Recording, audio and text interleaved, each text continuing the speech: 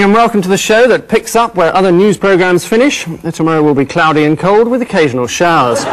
In the news this week, at the Middle East Peace Conference in Madrid, James Baker finally admits that he's being sponsored by Freeman's Catalogues. On the roads, the government announces new measures to combat the menace of speeding traffic signs. On Ian Hislop's team this week, a comedian and actor noted for his Rosencrantz in Rosencrantz and Guildenstern Are Dead, his Billy Markham in The Devil and Billy Markham, but primarily for his Man 2 in the Carling Black Label ads, Stephen Frost.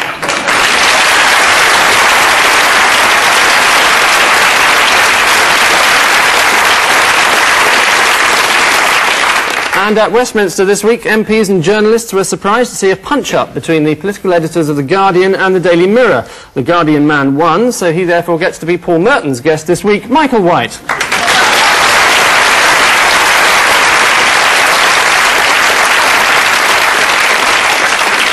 So let's march blindly into round one, in which we show each of our assembled company some footage of a major news story of the week. Well, I hope it's not the news story of the week. I don't want to speak ill of the dead, so that gives me nothing at all to say. Which will uh, make a pleasant change for some. Of them. Ian, uh, Ian and Steve, whose is this uh, triumphant return? That's folk dancing. Yeah. Scylla. That's, uh, oh no, that's, uh, yeah, Melda, Melda Marcos buying some very expensive nail varnish. Yes, it was. Well identified, Imelda Marcos, wife of the former president of the Philippines, who uh, flew into Manila airport to be greeted by 10,000 adoring shoe manufacturers. Mrs. Marcos, who wears bulletproof bras, she obviously doesn't mind if someone shoots her through the temples, so long as her breasts remain intact, uh, keeps the body of her husband in cold storage at her home. Hope she goes to the right freezer when she wants a pizza. This anchovy is a bit crunchy. Paul and uh, Paul and Michael, who's responsible for this slip up? Um, is this something about um, leaves falling on the line or something? The wrong type of leaf? Wrong time, wrong time of year, too. Sort of deciduous leaf or something? In autumn, wholly unreasonable. Yeah. No advance notice. That's about it, isn't it? Yes, absolutely. That's the long and the short of it. It's uh, British Rail and their new Class 159 trains, which are unable to operate due to leaves falling on the track. British, British Rail do have a device for clearing the tracks known as a Swedish scrubber. Uh, Britt Ekland was unavailable for comment. But uh, their immediate remedy is to pour a mixture of sand and glue on the rails. Sadly, however, this is washed away by rain. Seems their every move is hindered by freak weather conditions. Ian, uh, Ian and Steve, uh, who's had the removal men in here? Yeah, Mr. Cabinet. Is this um, a Liverpool question? Um, People being arrested normally are. It's uh, it's more West More Midlandy, really. West Midlands. Oh, yeah, it's This is the West Midlands serious. serious furniture removal department. there are bastards, those desks. Yes, it's I think it's a raid on them to try and get some evidence. It's pretty pointless. They never used to bother in the old days. yes, it's the headquarters of the West Midlands Serious Crime Squad, who were disbanded two years ago. This week, the official Police Complaints Authority report into the squad was issued, revealing the full extent of its corruption. The report said that members of the squad were inadequately supervised, had developed bad habits, and had poor interview techniques. They're now understood to be taking over from Amanda de Cadenet on the word. And uh, finally, in this round, Paul and Michael. Who's this jubilant victor? Isn't that boring? Isn't it boring to film? William, William Roach, who... Ken Barlow, who somebody... The Sun described him as boring. Isn't it boring, though, the film? it is, really. And he sued them. It was his turn. Yeah, he sued them, which was an extremely boring thing to do, I think. And uh, he won. Which is why he's taken over from Steve Davis as Ken Interesting Barlow. Isn't he a druid or something? He is also Yeah, he's a druid. That's It's quite true. interesting, so it's not very likely, is it? Yes, it's. Mr. Mr. Roach uh, is, a, of course, a, a druid, as, uh, as uh, Michael just mentioned, which uh, does almost look interesting. On which, uh, He's suddenly intriguing been to hell and back. You see that? It looked to me as if he'd been to the Madrid talks to negotiate and back. But, uh, Looks like, he'd been to, head, may have got the headgear wrong. looks like he'd been to Brentford Nylons and back. on which, uh, on which note we reach the conclusion of, uh, of round one, and I can tell you that, uh, well, Ian and Steve have an, a tiny four, and Paul and Michael have an only slightly larger five.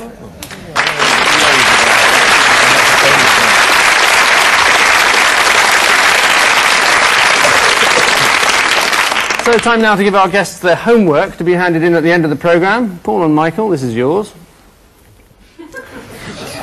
Ian and Steve, this is for you. And between now and the end of the show, you have to come up with a whimsical caption or a note from your mother. Uh, meanwhile, we're going to ask you to concentrate on four headlines, lovingly ripped out of this week's tabloids, and attempt, if you dare, to explain them. Bang! Paul, uh, what do you make of that? Ah, yes. Um, this is the, uh, the, the Irish equivalent of the Territorial Army, who um, were practicing one weekend. The Territorial Army is a marvellous idea. If the war breaks out, it would be fine as long as it's at the weekend. Yeah, they, they, they, and they've got to be over by Monday because they've got to go back to the bank, you know. Um, they'd run out of bullets, and so they had to shout out bang when they shot somebody. It's incredible, but it's true, yes. Two points. It's, uh, it's the news that the Irish Territorial Army is so short of money that soldiers in County Wicklow uh, have not been issued with any bullets, and they have to run out of the bushes shouting bang instead. not sure how, any, uh, how one side ever wins, as presumably whoever's being shot at simply shouts missed. Uh, the tank division have been running into battle shouting broom broom. the medical corps have been running across the fields going Nino Nino. and the submarine crew still haven't reported back yet. Uh, Michael, who's providing jobs for the wives? This is an imaginative job creation scheme created by the government. Very flexible. Uh, you don't have to have any particular qualifications. You do just have to be married to a member of the government. Yes, absolutely. right. Or, or Cecil Parkinson's wife. Perhaps Cecil Parkinson's wife is one of these people who've become chairman of a health authority or something like that. Very useful. Yes, yes, yes, well, yes. yes. Lots of free condoms there. Yes, you're absolutely right. It's the fact that well-paid jobs in uh, charge uh, of the new trust hospitals have been given to the wives of Tory MPs Cecil Parkinson and Teddy Taylor, and the husband of Tory MP Gillian Shepherd. Of course, it's not surprising Mrs. Parkinson has taken a job in charge of a hospital. It's the only time she gets to see Cecil pacing up and down outside the maternity ward. um, right, Steve, uh, a musical riddle for you. What? Reggae fans Reggie, sprung Reggie, up. fa- Reggie fan. Uh, this is a bloke, I think it was in America, who liked listening to loud music. And his neighbours complained, and he got booked, I think, by the police. And they put, for his punishment, they put him in a room and made him listen to Mantovani, the best of Mantovani or something. Yeah, absolutely right. It's an extraordinary story. I just made it up. It's psychic. It's extraordinary. Yes, uh, Rastafarian Zachary Brown was his name. He appeared in court in Monroe County, Florida, uh, charged with playing reggae music too loudly in public. Uh, Judge Wayne Miller sen- sentenced him to spend two hours a day for 30 days in the lift at the county library, listening to easy listening music by the 101 Strings Orchestra. I think I prefer to be sent to Alcatraz for life. So it shows the difference between judges in America and Britain. Over here, most judges would consider the 101 Strings Orchestra an example of dangerous, drug-crazed rock and roll. and finally, Ian, a headline dripping with royalty for you. Charles and King Edward's. It's something to do with Charles going to the Hebrides, where he often goes when he's had enough of the pressures of playing polo. and uh, he went to find himself, and he found Selina Scott, which must have been a nice surprise, uh, and a lot of potatoes, He which he picked, hence the King Edwards. Excellent. Perfect answer. Two points. It's Prince Charles who's gone to the remote island of Berneray in the Outer Hebrides in order to experience the joys of simple Gaelic life, accompanied by uh, only Selina Scott and a production crew of 35. Apparently, the prince has spent his time wandering around the fields digging up potato plants, obviously looking for a little conversation. Slightly more interesting than talking to Selina Scott. Uh, the idea uh, behind the film is to capture a slice of everyday life in the Hebrides. Simple Highland crofters spending their day watching the future King of England digging up their vegetables, surrounded by 35 people in designer anoraks. Which uh, rather grotesque vision brings us to the end of round two, and uh, intriguingly, Ian and Steve have a rather lackluster eight, and Paul and Michael have a gleaming nine.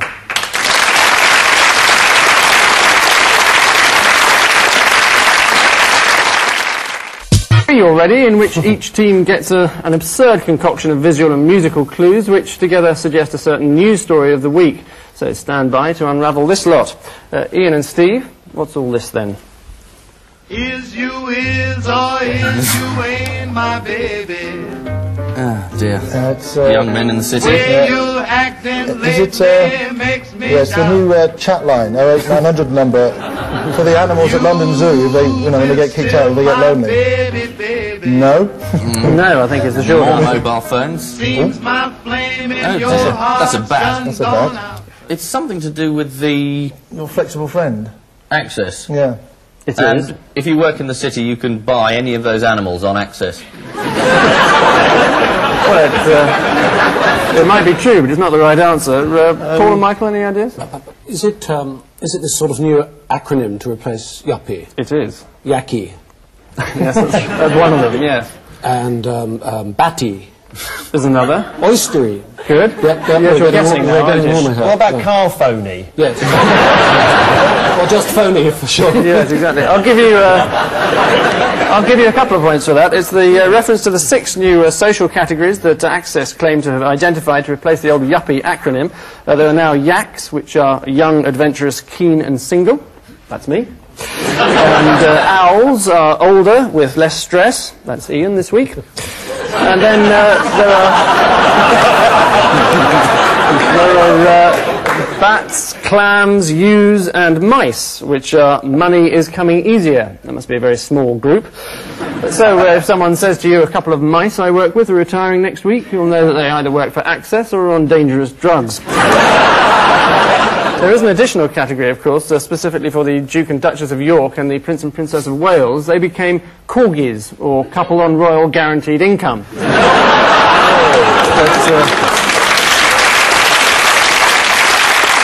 five hours it took to work that one. But uh, who cares what Access uh, think anyway? They're just a bunch of wealthy accountants, no kids, extremely rich. Paul and uh, Michael, strut your rump to the funk here. Um, rap record nuclear. Oh yes, this is um, Kinnock talking rap. It's a long player. this is somebody somebody took um, Look, the beef. Did you see? They were cutting bits off Mr. Kinnock. yes, fancy dress. The, the, the, there was a, what I believe the young people call a bootleg tape made of a recording which was never officially transmitted by the British Broadcasting Corporation, in which uh, Mr. Uh, Mr. Kinnock and Mr. James Naughtie, the balding person you saw in the film, uh, were seen exchanging a few frank views about the British political situation, and uh, uh, there has been a, a, a, a reggae rap number made of it, and the BBC went to court to stop it ever being transmitted on the BBC. You might think they need no need to go to court, but they like spending our money. I think that was a very full answer. I think it's. it?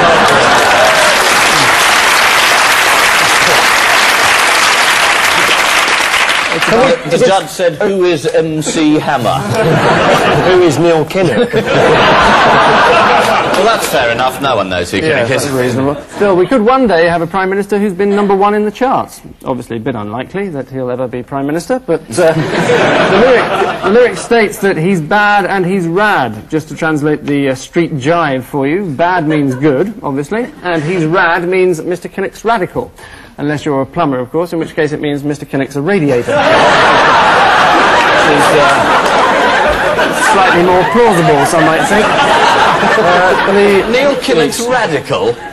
God, where have they been? The, uh, the record is a scratch mix, in fact, which means it's been elongated by playing the same section over and over again.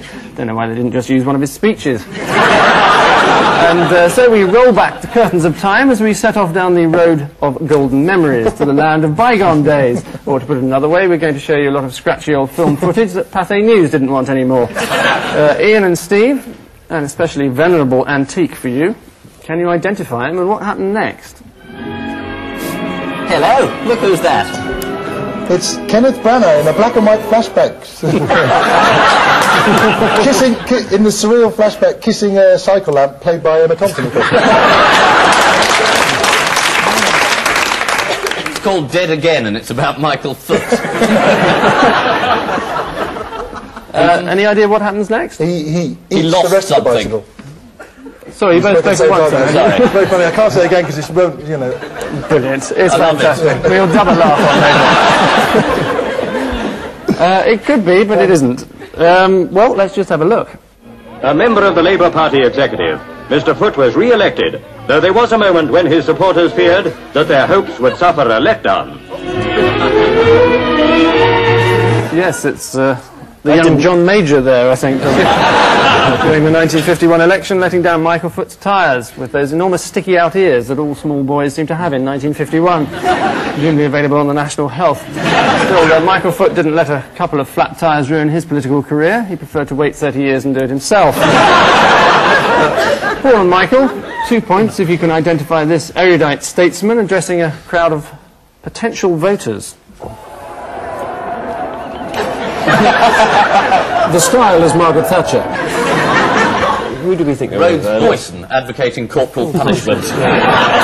Horsham? Well, I think Lord Hailsham, myself, I might be wrong, uh, who was chairman of the Conservative Party in his youth, and therefore the man who's sitting in the crowd is the Director General of the BBC.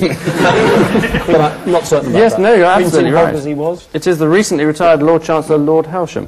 Two points. Uh, formerly Proving he was bonkers even then. And uh, astonishingly, he actually won that election. So there's a lesson for all budding young politicians. Never mind kissing babies, just indulge in some gratuitous physical violence. so uh, at the end of that uh, archaic round, I can tell you that uh, Ian and Steve have a slightly flimsy eight, and Paul and Michael have a pleasantly pert 15.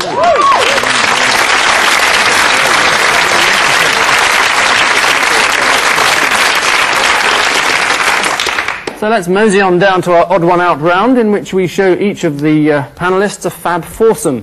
One of them stands out like a sore thumb. Your job is to tell us which one is the Ringo. Paul, we've uh, gone easy on you this week. Keith Richard, Fergie, Norman Tebbit, and Mike Smith. It's, it's helicopters, isn't it?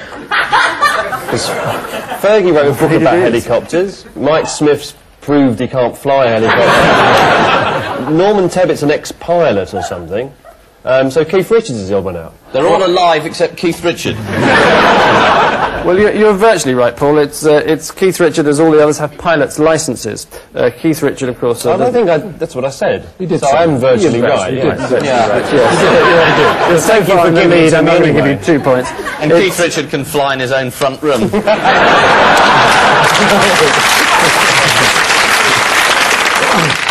Yes, so Fergie has a pilot's license, so it's slightly cheaper to buy her own aircraft and pay for the airfares for all of her holidays. Uh, Norman Tebbit was an airline pilot for BOAC, as you mentioned, and get on your plane and look for work. and uh, Mike, Mike Smith has a helicopter license, but unfortunately no longer has a helicopter. It's uh, currently residing in an elm tree outside Gloucester. Uh, Michael, a multinational conglomerate for you.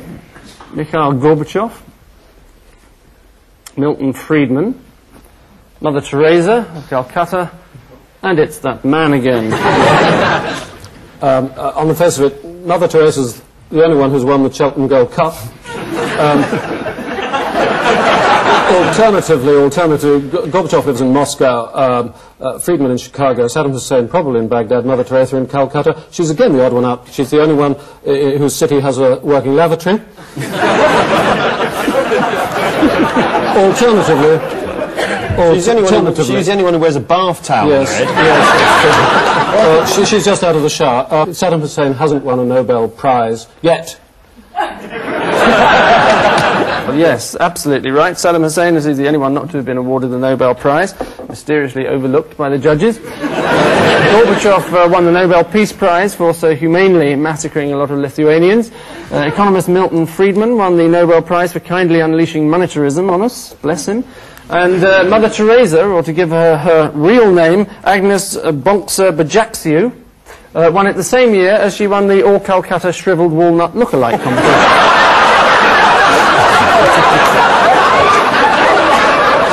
Steve, um, terrific, terrific. Obviously the best target, Milton Friedman, Yeah. Saddam Hussein. Yeah, let's get Mother Teresa. Shriveled old walnut, what's she ever done? Who's next? Albert Schweitzer. Bastard, yeah! Steve, an odd uh, cocktail for you. Okay. Tony Benn, Yeah. Tony Blackburn, got the link so far. Ronald McDonald That's there, blown it. and uh, Emperor Bokassa, the Emperor former Bokassa, Central yeah. African Yeah, dictator. yeah. Um, uh, Tony uh, Blackburn, Tony Blenn, and of course, it's, the odd man out is uh, Ronald McDonald because uh, Mr. Picasso's first name is Tony. Tony Picasso. I used to walk his dogs, I know. That's right. Where do you want them, uh, Tony? Where do you want the dogs this week, Tony? That's Andy going. Nothing gets past you, does it? Um, I can't give you any marks for that, I'm afraid. I think this is a. Is this an eating joke? yes. Emperor Bokassa used to eat the remains of people in fridges. Um, Ronald McDonald used to get people to eat Big Macs.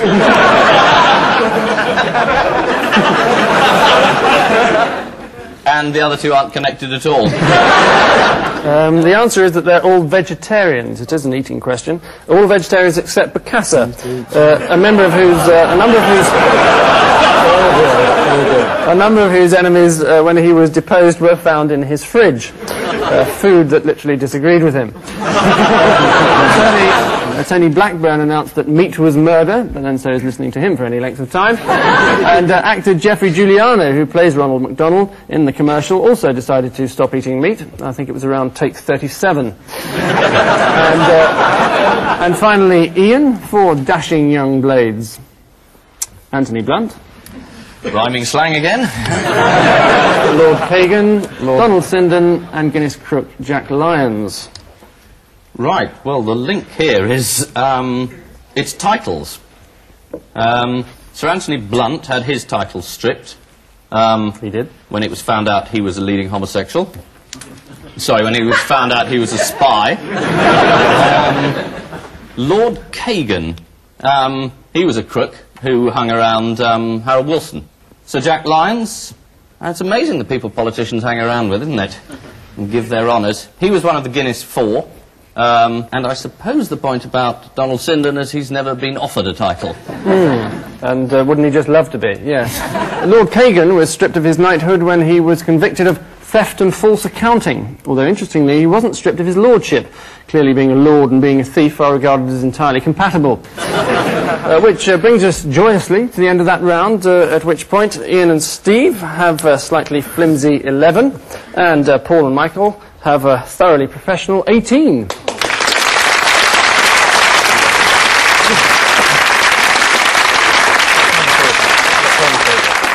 And so we glide effortlessly into our missing words round, the quickfire round we've all come to know and love, because it's the last one, in uh, which each team is shown some headlines of the week, but with one or two words missing. The teams have to identify the words or provide a better alternative. As is traditional, the team currently bringing up the proverbial rear go first, so uh, Ian and Steve, to your marks. Imelda Marcos flies north to win what? More air miles. Quite possibly, but not the right answer. To win the My Husband Killed Your Husband award for the Philippines. Support is the answer. It's democracy in action. It is incredible. It is If she incredible, fits but the size six and a half, she gets to marry Prince Edward. Next, uh, Lamont set to loosen what? Bowels.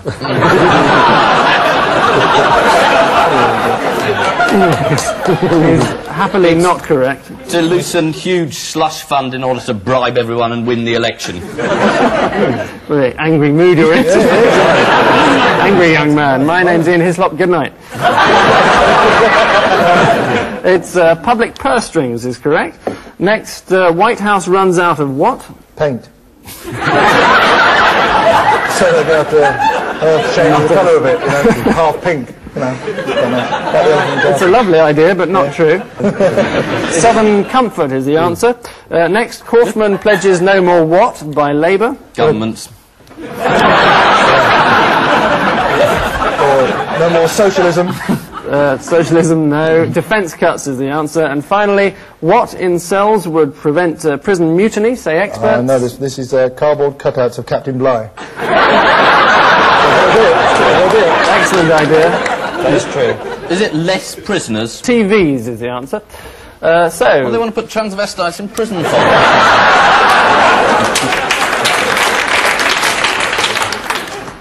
we shan't go into that. Now, uh, Paul and Michael, here are your missing words. A certain leitmotif running through this lot. I wonder if you can spot it. Uh, why Who is My Hero by John Major. Jimi Hendrix. City. You'd think so, but it's not. Ken Barlow. Did he say? Well, you're not well, far off. Mentioned sort of it's Lots like, of prime it's like? Baldwin and Pitt. William and, Pitt. And, Uh, no, I'm going to give a point to Ian because it's Mr. Dull is the answer. Uh, next, uh, Major buys his £55 shirts from who? Imelda Marcos. Is this Harvey Proctor? Doesn't he buy shirts from... It's absolutely right, yes. It is, isn't it? He's the TV and cell. I'll give you the I'll give you that. The answer is disgraced Tory, but it was Harvey Proctor. Uh, next, Major rules out Heseltine. What? Sex change? The, uh, um, job? Move is the right answer. it's hairdresser's charter. Uh, major, major set for triple. What? A bypass operation. Vodka? Big, bigamy charge. Uh, defeat is correct. Well done. And lastly, Tories tell Major to take a what? A flying leap. It's, uh, it's take a ticket and wait for your number to be called. Not exactly. Rest. Tu- tough line is the right Tough answer. line. At the end of that enthralling battle of half-wits, the upshot of it all is that this week's bitter disappointments are uh, Ian and Steve with 12, and this week's uh, credit to their mothers are Paul and Michael with 22.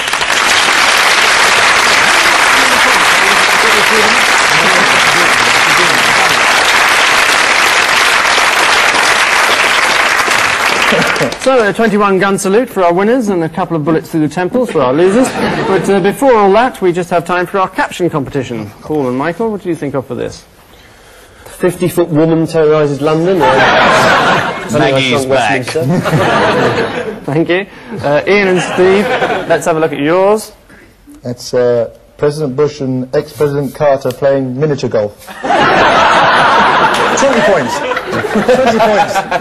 so it's too late now. I think it's the royal princess saying, "Is this all we have to do for the next 50 years to pick up the cheque?" Very good. On which treacherous note, uh, we say thank you to our guests, Ian Hislop and Stephen Frost, and Paul Merton and Michael White. And I leave you with the news that education chiefs have once again expressed fears that drug taking may be on the increase in Britain's schools.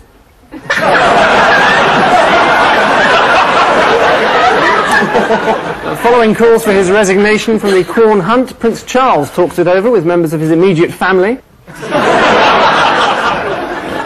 As a reward for good behaviour, the jailed Marquis of Blandford is given the job of parking the governor's car.